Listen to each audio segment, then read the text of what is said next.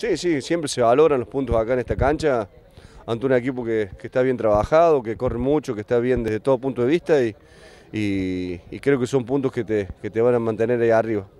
Si hablamos del primer tiempo, recién hablamos con un contrario, ¿no? donde decíamos que por ahí quizás en el mejor momento del local ustedes pudieron hacer el gol. Sí, sí, fue, un, mientras hubo piernas, una cancha que estaba pesada, eh, fue un partido trabado, parejo, este, donde hubo situaciones para los dos lados, pocas, pero hubo para los dos lados, ¿no? Pero, pero sí, uno sabe que cuenta con jugadores que, que si, lo, si le, da, le dan lugar, eh, te hacen diferencia y lo pudimos hacer. Eh, veíamos hoy, bueno, también lo que es la sumatoria al equipo de Veraldi, ¿no? Un jugador importantísimo que hoy ha demostrado lo que es.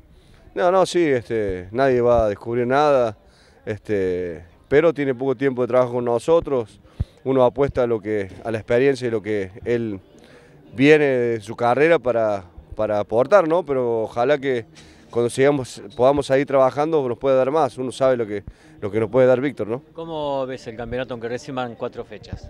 Durísimo, hermoso.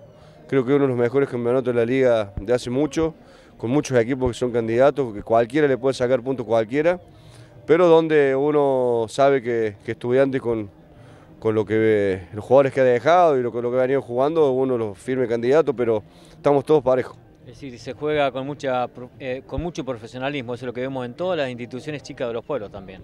No, no, no, la verdad que el fútbol Río Cuarto progresó mucho, uno lo ve cuando ve a otros equipos de otras ligas, este, en todo sentido, y es bueno, eh, ve canchas lindas, ve infraestructuras lindas, ve gente que trabaja para, para que esto progrese y, y uno que ha, estado en otros niveles y ha, visto la Liga de Río Cuarto es muy difícil, que ha tenido jugadores que han jugado en otras ligas y, y se sorprenden cuando vienen a jugar a la Liga de Río Cuarto, que es muy difícil.